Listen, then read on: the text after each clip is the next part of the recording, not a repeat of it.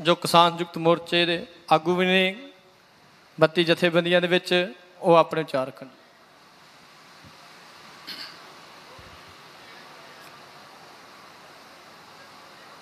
ਬਹੁਤ ਹੀ ਮਾਣ ਤੇ ਸਤਿਕਾਰ ਦੇ ਯੋਗ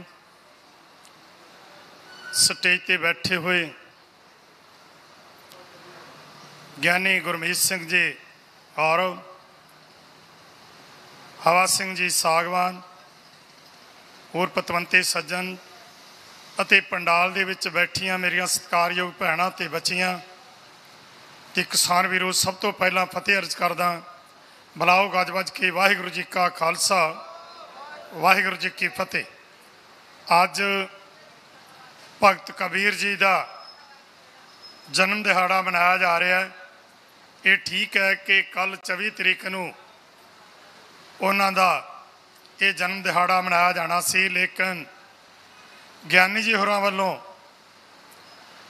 ਕਿਹਾ ਗਿਆ ਕਿ ਸਾਡੇ ਹੋਰ ਵੀ ਬਹੁਤ ਪ੍ਰੋਗਰਾਮ ਨੇ, ਜਿਸ ਕਰਕੇ ਸਾਨੂੰ ਇੱਕ ਦਿਨ ਤੁਸੀਂ ਪਹਿਲਾਂ ਇਸ ਸਟੇਜ ਤੋਂ ਜਿਹੜਾ ਭਗਤ ਕਬੀਰ ਜੀ ਦੇ ਜਨਮ ਦਿਹਾੜੇ ਤੇ ਸਾਨੂੰ ਸਮਾਂ ਦਿੱਤਾ ਜਾਵੇ। ਸੋ ਇਸ ਕਰਕੇ ਇੱਕ ਦਿਨ ਪਹਿਲਾਂ ਅੱਜ ਇਸ ਸਟੇਜ ਤੋਂ ਭਗਤ ਕਬੀਰ ਜੀ ਦਾ ਜਨਮ ਦਿਨ ਮਨਾਇਆ ਜਾ ਰਿਹਾ ਮੈਂ ਆਪਣੇ ਵੱਲੋਂ, ਜਥੇਬੰਦੀ ਵੱਲੋਂ, ਸੰਯੁਕਤ ਕਿਸਾਨ ਮੋਰਚੇ ਵੱਲੋਂ ਦੇਸ਼ ਵਿਦੇਸ਼ ਦੇ ਵਿੱਚ ਬੈਠੇ ਹੋਏ ਭਗਤ ਕਬੀਰ ਜੀ ਨੂੰ ਸਜਦਾ ਕਰਨ ਵਾਲੇ, ਗੁਰੂ ਗ੍ਰੰਥ ਸਾਹਿਬ ਜੀ ਨੂੰ ਗੁਰੂ ਮੰਨਣ ਵਾਲੇ, ਮਾਨਵਤਾ ਦੀ ਗੱਲ ਕਰਨ ਵਾਲੇ ਭਗਤਾਂ ਦੇ ਉਪਾਸਕਾਂ ਨੂੰ ਲੱਖ ਲੱਖ ਵਧਾਈ ਦਿੰਦਾ ਹਾਂ। ਕਿਉਂਕਿ ਇਹਨਾਂ ਭਗਤਾਂ ਨੇ ਭੁੱਲੇ ਭਟਕੇ ਲੋਕਾਂ ਨੂੰ ਰਸਤੇ ਦਰਸਾਏ, ਜਿਨ੍ਹਾਂ ਦੇ ਕਾਰਨ ਉਹਨਾਂ ਦੀ ਬਾਣੀ ਅੱਜ ਸ੍ਰੀ ਗੁਰੂ ਗ੍ਰੰਥ ਸਾਹਿਬ ਜੀ ਦੇ ਵਿੱਚ ਦਰਜ ਹੈ ਸੋ ਮੇਰੇ ਤੋਂ ਪਹਿਲਾਂ ਆਪ ਜੀਆਂ ਨੇ ਗਿਆਨੀ ਜੀ ਤੋਂ ਬਹੁਤ ਕੁਝ ਸਰਵਣ ਕੀਤਾ ਹੈ ਅਤੇ ਹਵਾ ਸਿੰਘ ਜੀ ਸਾਗਵਾਨ ਇਹਨਾਂ ਦਾ ਮੈਂ ਧੰਨਵਾਦ ਕਿੰਨਾ ਸ਼ਬਦਾਂ ਨਾਲ ਕਰਾਂ, ਉਹ ਮੇਰੇ ਕੋਲ ਸ਼ਬਦ ਨਹੀਂ। ਜਿਨ੍ਹਾਂ ਨੇ ਸੱਚ ਨੂੰ ਪਛਾਣਿਆ ਕਿਉਂਕਿ ਅੱਜ ਦੇ ਯੁੱਗ ਵਿੱਚ ਜਿੱਥੇ ਰਾਜਨੀਤਿਕ ਸ਼ਕਤੀਆਂ ਪਾੜੋ ਤੇ ਰਾਜ ਕਰੋ ਦੀ ਨੀਤੀ ਤੇ ਚੱਲ ਰਹੀਆਂ ਨੇ, ਔਰ ਉਸ ਸਮੇਂ ਦੇ ਵਿੱਚ ਇਹਨਾਂ ਨੇ ਸੱਚ ਦੀ ਪਹਿਚਾਣ ਕਰਕੇ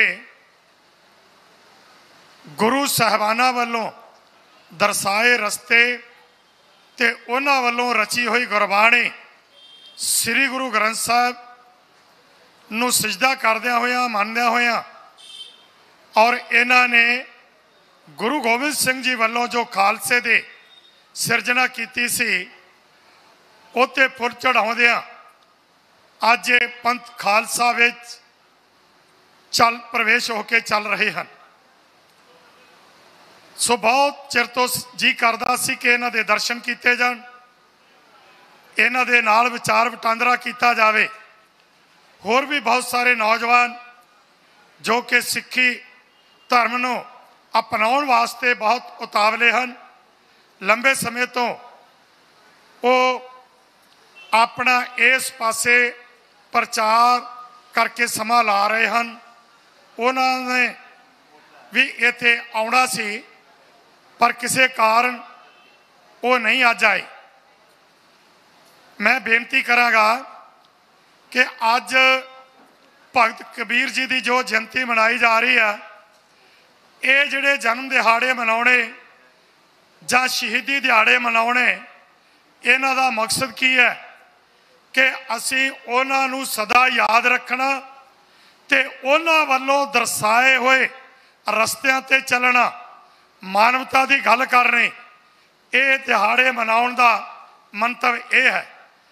ਪਰ ਆ ਜੋ ਕੇਂਦਰ ਦੀ ਮੋਦੀ ਸਰਕਾਰ ਜਿਸ ਨੇ ਕਿਸਾਨਾਂ ਦੇ ਵਿਰੁੱਧ ਇਹ ਕਾਲੇ ਕਾਨੂੰਨ ਬਣਾਏ, ਉਹਨਾਂ ਕਾਲੇ ਕਾਨੂੰਨਾਂ ਨੂੰ ਰੱਦ ਕਰਾਉਣ ਲਈ ਅਤੇ ਐਮਐਸਪੀ ਪੂਰੇ ਭਾਰਤ 'ਚ ਲਾਗੂ ਕਰਾਉਣ ਲਈ ਜੋ ਸੰਯੁਕਤ ਕਿਸਾਨ ਮੋਰਚੇ ਵੱਲੋਂ ਇਹ ਅੰਦੋਲਨ ਚਲਾਇਆ ਜਾ ਰਿਹਾ ਹੈ। ਅੰਦੋਲਨ ਨੂੰ ਫੇਲ ਕਰਨ ਵਾਸਤੇ ਸਰਕਾਰ ਕਿਸ ਤਰ੍ਹਾਂ ਦੇ ਹੱਥ ਕੰਡੇ ਅਪਣਾ ਰਹੀ ਆ ਕੀ ਕੀ ਕੁਝੀਆਂ ਹਰਕਤਾਂ ਕਰ ਰਹੀ ਆ ਉਹਦਾ ਤੁਹਾਡੇ ਸਾਹਮਣੇ ਬਹੁਤ ਵੱਡਾ ਸਬੂਤ ਅੱਜ ਰਾਮ ਸਿੰਘ ਰਾਣਾ ਜੋ ਕਿ ਸ਼ੁਰੂ ਤੋਂ ਲੈ ਕੇ ਗੋਲਡਨ ਹੱਟ ਵਾਲੇ ਰਾਮ ਸਿੰਘ ਰਾਣਾ, ਜੋ ਸ਼ੁਰੂ ਤੋਂ ਲੈ ਕੇ ਅੱਜ ਤੱਕ ਇਸ ਮੋਰਚੇ ਦੀ ਮਨ ਤਨ ਧਨ ਦੇ ਨਾਲ ਸੇਵਾ ਕਰ ਰਹੇ ਨੇ। ਤੁਸੀਂ ਰੋਜ਼ ਵੇਖ ਰਹੇ ਹੋ ਕਿ ਅੱਜ ਨਿਰੰਤਰ ਜਲ ਦੀ ਸੇਵਾ, ਆਟੇ ਦੀ ਸੇਵਾ, ਦੁੱਧ ਦੀ ਸੇਵਾ ਰਾਮ ਸਿੰਘ ਰਾਣਾ ਵੱਲੋਂ ਕੀਤੀ ਜਾ ਰਹੀ ਹੈ। ਔਰ ਜੋ 골ਡਨ ਹੱਟ ਕੇਐਮਪੀ ਦੇ ਲਾਗੇ ਜੋ ਬਹੁਤ ਵੱਡਾ ਹੋਟਲ ਹੈ, ਉਹ ਸ਼ੁਰੂ ਤੋਂ ਲੈ ਕੇ ਅੱਜ ਤੱਕ ਉਹ ਕਿਸਾਨਾਂ ਨੂੰ ਸਮਰਪਿਤ ਹੈ, ਕਿਸਾਨਾਂ ਦੀ ਸੇਵਾ ਕਰ ਰਿਹਾ ਪਰ ਅਫਸੋਸ ਕਿ ਹਰਿਆਣਾ ਸਰਕਾਰ ਮੋਦੀ ਵੱਲੋਂ ਦਰਸਾਏ ਰਸਤੇ ਤੇ ਚੱਲਦੇ ਆ ਉਹਨਾਂ ਦਾ ਜਿਹੜਾ ਕੁਰਸ਼ੇਤਰ ਦੇ ਲਾਗੇ ਗੋਲਡਨ ਹੱਟ ਬਹੁਤ ਵੱਡਾ ਢਾਬਾ ਹੈ, ਉਸ ਢਾਬੇ ਨੂੰ ਬੰਦ ਕਰਨ ਦੀ ਨੀਅਤ ਨਾਲ ਜੋ ਸਰਵਿਸ ਰੋਡ ਹੈ, ਉੱਥੇ ਬੈਰੀਕੇਡ ਲਾ ਦਿੱਤੇ ਨੇ ਕਿ ਲੋਕ ਇੱਥੇ ਗਾਹਕ ਨਾ ਜਾਣ, ਕਿਉਂਕਿ ਉਹ ਹੋਟਲ ਚੱਲ ਰਿਹਾ ਹੈ ਤੇ ਰਾਣਾ ਜੀ ਜੋ ਉੱਥੋਂ ਆਮਦਨ ਹੋ ਰਹੀ ਹੈ ਉਹ ਇੱਥੇ ਖਰਚ ਕਰ ਰਹੇ ਨੇ, ਇਸ ਤੋਂ ਬਗੈਰ ਉਹਨਾਂ ਨੇ ਆਪਣੀ ਜ਼ਮੀਨ ਵੇਚ ਕੇ ਔਰ ਜੋ ਉਹਨਾਂ ਕੋਲੇ ਬੈਂਕ ਬੈਲੈਂਸ ਪਿਆ ਸੀ, ਉਹ ਵੀ ਉਹਨਾਂ ਨੇ ਇਸ ਮੋਰਚੇ ਦੇ ਸਬੰਧ ਵਿੱਚ ਸਾਰਾ ਖਰਚ ਕਰ ਦਿੱਤਾ। ਪਰ ਹਰਿਆਣਾ ਸਰਕਾਰ ਵੱਲੋਂ ਉਹਨੂੰ ਸਭ ਸਿਖਾਉਣ ਲਈ ਇੱਕ ਨਵੀਂ ਕੋਝੀ ਚਾਲ ਚੱਲੀ ਗਈ ਹੈ, ਜਿਹਦੇ ਨਾਲ ਬੈਰੀਕੇਡ ਲਾ ਕੇ ਦਿੱਤੇ ਗਏ ਨੇ, ਉੱਥੇ ਪੱਥਰ ਲਾ ਦਿੱਤੇ ਆ ਕਿ ਜਿਹੜੇ ਗਾਹਕ ਉਹਦੇ ਢਾਬੇ ਤੇ ਇੱਥੇ ਆਉਂਦੇ ਆ, ਉਹ ਨਾ ਆਉਣ ਤੇ ਉਹਨੂੰ ਆਰਥਿਕ ਨੁਕਸਾਨ ਪਹੁੰਚਾ ਜਾਵੇ। ਮੈਂ ਇਸ ਸਟੇਜ ਤੋਂ ਸੰਯੁਕਤ ਮੋਰਚੇ ਦੀ ਸਟੇਜ ਤੋਂ ਇੱਕ ਸਮੁੱਚੇ ਤੌਰ ਤੇ ਕਿਸਾਨ ਵੀਰਾਂ ਨੂੰ ਤੇ ਮੋਰਚੇ ਦੇ ਹਮਾਇਤੀਆਂ ਨੂੰ ਇੱਕ ਅਪੀਲ ਕਰਨੀ ਚਾਹੁੰਦਾ ਕਿ ਸਰਕਾਰ ਨੇ ਉਸ ਢਾਬੇ ਨੂੰ ਆਰਥਿਕ ਨੁਕਸਾਨ ਪਹੁੰਚਾਉਣ ਲਈ ਇਹ ਕੋਝੀ ਹਰਕਤ ਕੀਤੀ ਹੈ। ਉੱਥੇ ਉਹਨਾਂ ਪੱਥਰ ਲਾਏ ਨੇ। ਪਰ ਤੁਹਾਡਾ ਇਹ ਫਰਜ਼ ਬਣਦਾ ਹੈ ਕਿ ਜੋ ਵੀ ਲੋਕ ਦਿੱਲੀ ਨੂੰ ਆਉਂਦੇ ਆ, ਕਿਸੇ ਹੋਰ ਢਾਬੇ ਤੋਂ ਉਹ ਚਾਹ ਪਾਣੀ ਪੀਂਦੇ ਹਨ ਜਾਂ ਹੋਰ ਕੋਈ ਉੱਥੋਂ ਪਦਾਰਥ ਛਕਦੇ ਹਨ, ਉਹਨਾਂ ਨੂੰ ਬੇਨਤੀ ਕਰਾਂਗਾ ਕਿ ਉਥੇ ਉਸ ਢਾਬੇ ਤੇ ਕੁਰਸ਼ੇਤਰ ਤੋਂ ਅੱਗੇ ਆ ਕੇ ਕਰਨਾਲ ਤੋਂ ਪਿੱਛੇ ਜੋ ਇਹ ਢਾਬਾ ਹਰਿਆਣੇ ਦੇ ਵਿੱਚ ਆਰਾਮ ਸਿੰਘ ਰਾਣੇ ਦਾ ਚੱਲ ਰਿਹਾ ਹੈ, ਉੱਥੇ ਵੱਧ ਤੋਂ ਵੱਧ ਭੀੜ ਆਉਣੀ ਚਾਹੀਦੀ ਹੈ। ਤਾਂ ਕਿ ਸਰਕਾਰ ਦੇ ਇਹ ਜਿਹੜੀਆਂ ਅੱਖਾਂ ਤੇ ਪੱਟੀ ਬੰਨੀ ਹੋਈ ਉਹ ਖੁੱਲ ਜਾਵੇ ਕਿ ਇਹਨਾਂ ਕੁਝੀਆਂ ਹਰਕਤਾਂ ਨਾਲ ਇਹ ਲੋਕ ਪਿੱਛੇ ਨਹੀਂ ਹਟਣਗੇ। ਔਰ ਦੂਸਰੀ ਗੱਲ, ਸਵੇਰ ਤੋਂ ਫੋਨ ਆ ਰਹੇ ਨੇ, ਰਾਤੀ ਵੀ ਫੋਨ ਆਏ ਕਿ 골ਡਨ ਹੱਟ ਜੋ ਢਾਬੇ ਨੂੰ ਰੋਕਣ ਵਾਸਤੇ ਉੱਥੇ ਬੈਰੀਕੇਡ ਲਾ ਰਹੇ। ਸੰਯੁਕਤ ਮੋਰਚਾ ਕੀ ਕਰ ਰਿਹਾ? ਤੁਸੀਂ ਕੀ ਕਰ ਰਹੇ ਹੋ? ਹੁਣ ਤੱਕ ਤੁਹਾਡੀ ਕੋਈ ਕਾਲ ਨਹੀਂ ਆਈ। ਮੈਂ ਦੱਸ ਦੇਣਾ ਚਾਹੁੰਦਾ ਸ੍ਰੀ ਰਾਮ ਸਿੰਘ ਰਾਣਾ ਨੂੰ ਭਰੋਸਾ ਦਿਵਾਉਣਾ ਚਾਹੁੰਦਾ ਅਤੇ ਜਿੰਨੇ ਵੀ ਹਮਦਰਦ ਰਾਮ ਸਿੰਘ ਰਾਣਾ ਦੇ ਨਾਲ ਹਮਦਰਦੀ ਰੱਖਦੇ ਨੇ। ਉਹਨਾਂ ਨੂੰ ਦੱਸਣਾ ਚਾਹੁੰਦਾ ਹੈ ਕਿ ਸਾਡੀ ਮੀਟਿੰਗ ਹੋ ਚੁੱਕੀ ਹੈ ਮੈਂ ਹੁਣ ਮੀਟਿੰਗ ਚੋਂ ਆਇਆ। ਸਾਡੇ ਕਿਸਾਨ ਆਗੂ ਰਾਮ ਸਿੰਘ ਜੀ ਰਾਣਾ ਕੋਲ ਉਹ ਜਾ ਰਹੇ ਨੇ ਬਲਤਾ ਪਹੁੰਚ ਗਏ ਹੋਣਗੇ। ਰਾਣਾ ਜੀ ਦੇ ਨਾਲ ਸਲਾਹ ਕਰਕੇ ਉਹ ਜਿਸ ਤਰ੍ਹਾਂ ਦੀ ਵੀ ਮਤ ਚਾਹਣਗੇ, ਉਸ ਤਰ੍ਹਾਂ ਦੀ ਕੀਤੀ ਜਾਏਗੀ। ਔਰ ਇਹਦੇ ਨਾਲ ਨਾਲ ਮੈਂ ਹਰਿਆਣਾ ਸਰਕਾਰ ਨੂੰ ਇੱਕ ਚੇਤਾਵਨੀ ਵੀ ਦੇਣਾ ਵੈਸੇ ਤਾਂ ਸਾਰਾ ਪ੍ਰੋਗਰਾਮ ਉੱਥੇ ਹੀ ਕਰਨਗੇ ਮਰਜ਼ਾਦਾ ਨਹੀਂ। ਪਰ ਜੇ ਸਰਕਾਰ ਬਾਜ ਲਾਈ ਤਾਂ ਇਹ ਜਿਹੜੇ ਨੌਜਵਾਨ ਜਿਨ੍ਹਾਂ ਦੇ ਸਵੇਰ ਦੇ ਸਾਨੂੰ ਫੋਨ ਆ ਰਹੇ ਨੇ ਕਿ ਜੇਕਰ ਅਸੀਂ ਹਰਿਆਣਾ ਸਰਕਾਰ ਵੱਲੋਂ ਸਿੰਘੂ ਬਾਰਡਰ ਤੋਂ, ਸ਼ੰਭੂ ਬਾਰਡਰ ਤੋਂ ਲੈ ਕੇ ਦਿੱਲੀ ਬਾਰਡਰ ਤੱਕ ਅਸੀਂ ਸਾਰੇ ਬੈਰੀਕੇਡ ਤੋੜ ਸਕਦੇ ਆ ਤੇ ਜਿਹੜੇ ਉਹ ਚਾਰ ਪੱਥਰ ਲੱਗੇ ਆ ਕੀ ਅਸੀਂ ਉਹ ਹਟਾ ਨਹੀਂ ਸਕਦੇ? ਉਹ ਹਟਾ ਸਕਦੇ ਆ ਪਰ ਅੱਜ ਸੰਯੁਕਤ ਕਿਸਾਨ ਮੋਰਚੇ ਵੱਲ ਅ, ਬੱਤੀ ਕਿਸਾਨ ਜਥੇਬੰਦੀਆਂ ਨੇ ਜੋ ਮੀਟਿੰਗ ਹੋਈ ਆ ਉਹਦੇ ਵਿੱਚ ਫੈਸਲਾ ਲਿਆ ਜਾਵੇਗਾ। ਅਸੀਂ ਸਰਕਾਰ ਨੂੰ ਦੱਸ ਦੇਣਾ ਚਾਹੁੰਦੇ ਆ ਕਿ ਜਿਹੜੀਆਂ ਕੁਝ ਹਰਕਤਾਂ ਤੁਹਾਡੇ ਵੱਲੋਂ ਕੀਤੀਆਂ ਜਾ ਰਹੀਆਂ ਨੇ ਜਿਸ ਤਰ੍ਹਾਂ ਕਿ ਇੱਥੋਂ ਦੇ ਲੋਕ ਜੋ ਸਾਨੂੰ ਪਿਆਰ ਕਰਦੇ ਨੇ, ਜਿਨ੍ਹਾਂ ਨੇ ਇੱਥੇ ਆ KFC ਵਰਗੇ ਮਾਨ ਜਾਂ ਹੋਰ ਵੀ ਘਰਾਂ ਦੇ ਵਿੱਚ ਰਹਿਣ ਵਾਸਤੇ ਉਹਨਾਂ ਨੇ ਸਸਤੇ ਰੇਟਾਂ ਪਹਿਲਾਂ ਤਾਂ ਫ੍ਰੀ ਦਿੱਤੇ ਤੇ ਹੁਣ ਬਿਜਲੀ ਦਾ ਆਦਾ ਬਿੱਲ ਲੈਣ ਵਾਸਤੇ ਉਹਨਾਂ ਨੇ ਸੀਮਤ ਕਿਰਾਏ ਤੇ ਸੰਗ ਦਿੱਤੇ ਆ। ਉਹਨਾਂ ਨੂੰ ਵੀ ਪਰੇਸ਼ਾਨ ਕੀਤਾ ਜਾ ਰਿਹਾ। ਉਹਨਾਂ ਨੂੰ 19 ਲੱਖ ਦੇ 21 21 ਲੱਖ ਦੇ ਉਹਨਾਂ ਨੂੰ ਬਿਜਲੀ ਬਿੱਲ ਦੇ, ਬਿਜਲੀ ਦੇ ਬਿੱਲ ਭੇਜੇ ਜਾ ਰਹੇ ਨੇ। ਤੁਸੀਂ ਹੁਣ ਤੱਕ ਬਹੁਤ ਕੁਝ ਕਰਕੇ ਵੇਖ ਲਿਆ। ਇੱਥੇ ਸ਼ਰਾਰਤੀ ਅੰਸਰ ਭੇਜੇ, ਨੌਜਵਾਨ ਲੜਕੇ ਭੇਜੇ, ਇਸ ਮੋਰਚੇ ਨੂੰ ਖੰਡਾਉਣ ਵਾਸਤੇ। ਤੁਸੀਂ ਨੌਜਵਾਨ ਲੜਕੀਆਂ ਭੇਜੀਆਂ, ਇਸ ਮੋਰਚੇ ਮਾੜੀ ਹਰਕਤ ਕਰਕੇ ਇਸ ਮੋਰਚੇ ਨੂੰ ਖੰਡਾਉਣ ਵਾਸਤੇ। ਤੁਸੀਂ ਇੱਥੇ ਹਥਿਆਰਬੰਦ ਬੰਦਿਆਂ ਨੂੰ ਇੱਥੇ ਸ਼ਰਾਰਤੀ ਅਨਸਰਾਂ ਨੂੰ ਇਸ ਸੰਘਰਸ਼ ਨੂੰ ਫੇਲ ਕਰਨ ਲਈ ਭੇਜਿਆ, ਜਿਨ੍ਹਾਂ ਨੂੰ ਫੜ ਕੇ ਥਾਣੇ ਫੜਾਇਆ ਗਿਆ। ਤੁਸੀਂ ਇੱਥੇ ਸਾਡੀਆਂ ਝੌਂਪੜੀਆਂ ਨੂੰ ਅੱਗਾਂ ਲਾਈਆਂ, ਪਰ ਤੁਹਾਡੀ ਅੱਜ ਤੱਕ ਕੋਈ ਸਾਜ਼ਿਸ਼ ਕਾਮਯਾਬ ਨਹੀਂ ਹੋਈ ਤੇ ਨਾ ਅੱਗੇ ਹੋਣੀ ਹੈ। ਔਰ ਆਮ ਤੌਰ ਤੇ ਪ੍ਰੈਸ ਵਾਲੇ ਵੀਰ ਵੀ ਸਾਡੇ ਤੇ ਸਵਾਲ ਕਰਦੇ ਨੇ, ਅੱਜ ਹੀ ਸਵੇਰੇ D5 ਚੈਨਲ ਤੇ ਗੱਲਬਾਤ ਚੱਲ ਰਹੀ ਸੀ ਤੇ ਸਵਾਲ ਕਰ ਰਹੇ ਸੀ ਪੱਤਰਕਾਰ ਕਿ ਬੀਜੇਪੀ ਪੰਜਾਬ ਦੇ ਵਿੱਚ ਇੱਕ ਕਿਤਾਬ ਤਿਆਰ ਕਰਕੇ ਉਹ ਲੋਕਾਂ ਦੇ ਵਿੱਚ ਵੰਡ ਰਹੀ ਹੈ ਕਿ ਬੀਜੇਪੀ ਦਾ ਤੇ ਸਿੱਖਾਂ ਦਾ ਕਿੱਡਾ ਵੱਡਾ ਰਿਸ਼ਤਾ ਹੈ। ਉਹਦੇ ਪਿੱਛੇ ਕੀ ਕਾਰਨ ਹੈ? ਸਵਾਲ ਕੀਤਾ ਗਿਆ ਮੇਰੇ ਤੇ। ਔਰ ਮੈਂ ਉਸ ਦਾ ਜਵਾਬ ਦਿੱਤਾ ਕਿ ਇਸ ਸਰਕਾਰ ਨੇ ਜਿਹੜੀ ਕੇਂਦਰ ਦੀ ਮੌਜੂਦਾ ਮੋਦੀ ਸਰਕਾਰ ਹੈ, ਇਹ ਸਾਡੇ ਇਸ ਅੰਦੋਲਨ ਨੂੰ ਫੇਲ ਕਰਨ ਲਈ ਇਹ ਲੰਬਾ ਸੰਘਰਸ਼ ਜਿਹੜਾ ਚੱਲ ਰਿਹਾ ਦੇ ਪਿੱਛੇ ਕਾਰਨ ਕੀ ਹੈ? ਕਿਉਂਕਿ ਇਹਨਾਂ ਨੇ ਨੋਟਬੰਦੀ ਕੀਤੀ, ਇਹਨਾਂ ਨੇ ਜੀਐਸਟੀ ਲਾਗੂ ਕੀਤਾ ਇਹਨਾਂ ਨੇ 370 ਧਾਰਾ ਤੋੜੀ। ਇਹਨਾਂ ਨੇ ਲੇਬਰ ਲਾਅ ਖਤਮ ਕੀਤੇ। ਔਰ ਇਹਨਾਂ ਦੇ ਅੱਗੇ ਕੋਈ ਨਹੀਂ ਸਿਆੜਿਆ। ਪਰ ਸੰਯੁਕਤ ਕਿਸਾਨ ਮੋਰਚਾ, ਜਿਹਦੀ ਅਗਵਾਈ ਸਭ ਤੋਂ ਪਹਿਲਾਂ ਪੰਜਾਬ ਦੀਆਂ ਜਥੇਬੰਦੀਆਂ ਨੇ ਸ਼ੁਰੂ ਕੀਤੀ ਤੇ ਹਰਿਆਣੇ ਚ ਆ ਗਏ। ਅੱਜ ਪੂਰੇ ਭਾਰਤ ਦਾ ਸੰਯੁਕਤ ਕਿਸਾਨ ਮੋਰਚਾ ਬਣ ਚੁੱਕਾ ਹੈ। ਔਰ ਸਾਡੀ ਜਿਹੜੀ ਭਾਈਚਾਰਕ ਸਾਂਝ ਬਣ ਚੁੱਕੀ ਹੈ ਉਸ ਨੂੰ ਤਾਰਪੀਡੋ ਕਰਨ ਲਈ ਇਹਨਾਂ ਨੂੰ ਚੰਗੀ ਨਹੀਂ ਲੱਗ ਰਹੀ। ਇਹਨਾਂ ਨੂੰ ਅਪਰੇਮੇ ਹੋ ਰਿਹਾ ਕਿ ਅਸੀਂ ਜੋ ਚਾਹੁੰਦੇ ਸਾਂ ਕਿ ਅੰਗਰੇਜ਼ਾਂ ਦੀ ਨੀਤੀ ਤੇ ਚੱਲਦਿਆਂ ਹੋਇਆ, ਪਾੜੋ ਤੇ ਰਾਜ ਕਰੋ ਦੀ ਨੀਤੀ ਨਾਲ, ਉਹ ਸਾਡੀ ਚਾਲ ਅੱਜ ਕਾਮਯਾਬ ਨਹੀਂ ਹੋ ਰਹੀ। ਅੱਜ ਪੰਜਾਬ ਦਾ ਸਿੱਖ, ਪੰਜਾਬ ਦੀਆਂ ਖੱਬੇ ਪੱਖੀ ਪਾਰਟੀਆਂ ਸਾਡੇ ਕਾਮਰੇਟ ਵੀ ਕਾਮਰੇਟ ਵੀ ਉਹ ਸਾਰੇ ਇਕੱਠੇ ਹੋ ਗਏ।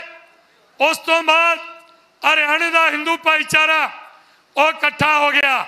ਉਸ ਤੋਂ ਬਾਅਦ ਯੂਪੀ ਰਾਜਸਥਾਨ, ਸਮੁੱਚੇ ਕਿਸਾਨ ਤੇ ਸਮੁੱਚੀਆਂ ਜਥੇਬੰਦੀਆਂ ਇਕੱਠੀਆਂ ਹੋ ਗਈਆਂ। ਤੇ ਹੁਣ ਕੀ ਕੀਤਾ ਜਾਵੇ? ਉਹਨਾਂ ਨੇ ਫਿਰ ਇਹ ਕਿਤਾਬ ਦਾ ਇੱਕ ਛਡਯੰਤਰ ਰਚਿਆ ਕਿ ਇਹ ਕਿਤਾਬ ਜਾਏਗੀ ਸਿੱਖ ਪਰਿਵਾਰਾਂ ਕੋਲ ਤੇ ਹਿੰਦੂ ਵੀ ਇਹ ਸੋਚਣਗੇ ਵੀ ਸ਼ਾਇਦ ਕਿਤੇ ਸਿੱਖ ਜਿਹੜੇ ਨੇ, ਇਹ ਬੀਜੇਪੀ ਦੇ ਝਾਸੇ ਚ ਨਾ ਜਾਣ। ਮੈਂ ਦੱਸਣਾ ਚਾਹੁੰਦਾ ਇਸ ਕੇਂਦਰ ਸਰਕਾਰ ਨੂੰ ਇਹ ਠੀਕ ਹੈ ਕਿ ਤੁਸੀਂ ਹੁਣ ਤੱਕ ਬਹੁਤ ਕੁਝ ਕੀਤਾ। ਜਿਹਦੀ ਪਹਿਲਾਂ ਗਿਣਤੀ ਕਰ ਚੁੱਕਾ। ਅੱਗੇ ਕੀ ਕੀ ਪ੍ਰੋਗਰਾਮ ਨੇ? ਆ ਤੁਸੀਂ ਵੇਖੋ। ਮੇਰੇ ਕੋਲੇ ਇੱਕ ਮੰਗ ਪੱਤਰ ਹੈ। ਇਹ ਕਿੰਨਾ ਵੱਲੋਂ ਦਿੱਤਾ ਗਿਆ ਹੈ?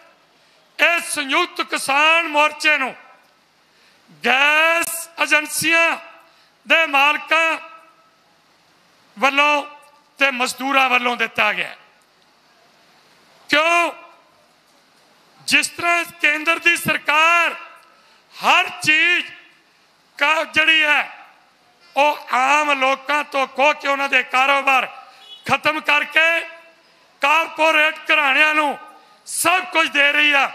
ਇਸੇ ਤਰ੍ਹਾਂ ਗੈਸ ਦੀ ਪਾਈਪਲਾਈਨ ਉਹ ਪਿੰਡਾਂ 'ਚ ਵਿਛਾਈ ਜਾ ਰਹੀ ਆ। ਅੰਮ੍ਰਿਤਸਰ ਵਰਗੇ ਸ਼ਹਿਰ ਦੇ ਵਿੱਚ ਉਹ ਪਾਈਪਲਾਈਨ ਫਸਾਈ ਜਾ ਰਹੀ ਆ ਗੈਸ ਦੀ। ਔਰ ਇਹ ਗੈਸ ਪਾਈਪਲਾਈਨ ਵਿਛਣ ਤੋਂ ਬਾਅਦ ਜਦੋਂ ਵੀ ਕਿਤੇ ਕੋਈ ਹਾਦਸਾ ਵਾਪਰੇਗਾ, ਆਮ ਤੌਰ ਤੇ ਤੁਹਾਨੂੰ ਪਤਾ ਹੈ ਕਿ ਕਿਤੇ ਗੈਸ ਸਿਲੰਡਰ ਫਟ ਜਾਏ ਤੇ ਉਸ ਘਰ ਦੇ ਪਰਿਵਾਰ ਦਾ ਕਿੰਨਾ ਨੁਕਸਾਨ ਹੁੰਦਾ ਹੈ। ਤੇ ਜਿਹੜੀ ਪਾਈਪਲਾਈਨ ਵਿੱਚ ਗਈ ਤੇ ਰੱਬ ਨਾ ਕਰੇ, ਉਹ ਕਿਤੇ ਨੁਕਸਾਨ ਹੋ ਜਾਏ, ਅੱਗ ਲੱਗ ਜਾਏ ਤੇ ਫਿਰ ਜਿਹੜੀ ਪੈਪ ਪਿੱਛੇ ਨੂੰ ਜਾ ਰਹੀ ਆ, ਉਹ ਸਾਰੀ ਫਟੇਗੀ ਕਿ ਨਹੀਂ ਫਟੇਗੀ? ਇਹ ਬੰਬਾਂ ਦੇ ਉੱਤੇ ਸਾਨੂੰ ਬਿਠਾਇਆ ਜਾ ਰਿਹਾ ਕਿ ਕਿਸ ਵਾਸਤੇ? ਕਿ ਗੈਸ ਏਜੰਸੀਆਂ ਵਾਲੇ ਅੱਜ ਉੱਠੇ ਨੇ। ਉਹ ਕਿਉਂ ਉੱਠੇ ਨੇ? ਉਹ ਕਹਿੰਦੇ ਸਾਡੇ ਕਾਰੋਬਾਰ ਖਤਮ ਹੋ ਜਾਣਗੇ। ਪੰਜਾਬ ਦੇ ਵਿੱਚ ਗੈਸ ਏਜੰਸੀਆਂ ਦੇ ਨਾਲ 9 ਲੱਖ ਮਜ਼ਦੂਰ ਲੋਕ ਮਜ਼ਦੂਰੀ ਕਰਨ ਵਾਲੇ ਮੁਲਾਜ਼ਮ ਉਹ ਜੁੜੇ ਹੋਏ ਨੇ। ਉਹ ਜਿੱਥੇ ਗੈਸ ਏਜੰਸੀਆਂ ਵਾਲੇ ਦਾ ਨੁਕਸਾਨ ਹੋਏਗਾ ਉੱਥੇ ਉਹਨਾਂ ਦੇ ਕਾਰੋਬਾਰ ਉਹਨਾਂ ਦੀ ਮਜ਼ਦੂਰੀ ਖਤਮ ਹੋ ਜਾਏਗੀ ਔਰ ਜੇ ਕਿਤੇ ਰੱਬ ਨਾ ਕਰੇ ਪਾਈਪਲਾਈਨ ਫਟ ਜਾਏ ਤਾਂ ਫਿਰ ਉਹ ਪਾਈਪਲਾਈਨਾਂ ਪਿੱਛੋਂ ਬੰਦ ਹੋਣਗੀਆਂ ਇਸ ਦਾ ਮਤਲਬ ਕਿ ਜਿੱਥੇ ਸਾਡੇ ਕੋਲੋਂ ਇਹ ਅਨਾਜ ਖੋਏ ਜਾ ਰਹੇ ਨੇ ਕਾਰਪੋਰੇਟ ਘਰਾਣਿਆਂ ਨੂੰ ਦਿੱਤੇ ਜਾ ਰਹੇ ਨੇ ਮਰਜ਼ੀ ਦੀਆਂ ਕੀਮਤਾਂ ਲਾਉਣਗੇ ਉਹਦੇ ਨਾਲ ਨਾਲ ਇਹ ਕੁੱਲ ਦਾਲਾਂ, ਸਬਜ਼ੀਆਂ ਇਹ ਵੀ ਸਟੋਰ ਕਰ ਰਹੇ ਨੇ। ਪਰ ਦੁੱਖ ਦੀ ਗੱਲ ਕਿ ਜਿਹੜੇ ਚੁੱਲ੍ਹਿਆਂ ਤੇ ਤੁਸੀਂ ਰੋਟੀ ਪਾਣੀ ਤਿਆਰ ਕਰਦੇ ਹੋ, ਉਹ ਚੁੱਲ੍ਹੇ ਵੀ ਬੰਦ ਹੋ ਜਾਣੇ। ਇਸ ਤੋਂ ਅੱਗੇ ਇਹਨਾਂ ਦੀ ਕੀ ਸੋਚ ਹੈ? ਜਿਸ ਤਰ੍ਹਾਂ ਕਿ ਰਾਮਦੇਵ ਯੂਨੀਵਰਸਿਟੀ ਉਹ ਆ ਰਹੀ ਹੈ।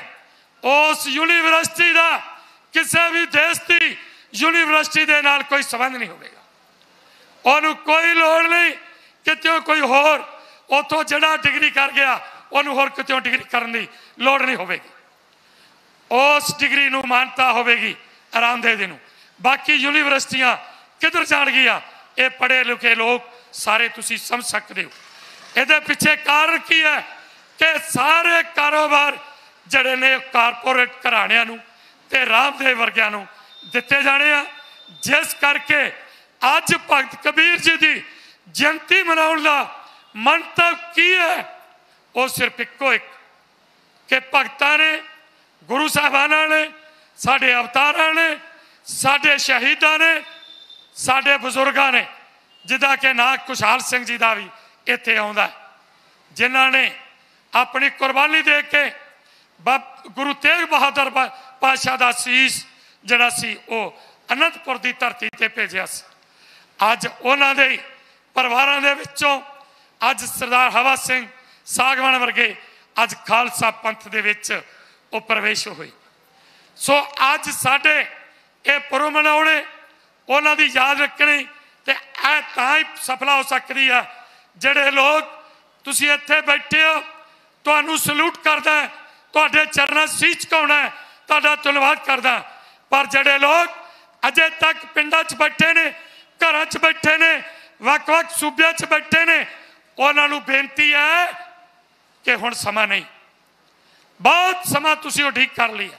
7 ਮਹੀਨੇ ਪੂਰੇ ਹੋ ਗਏ ਆ।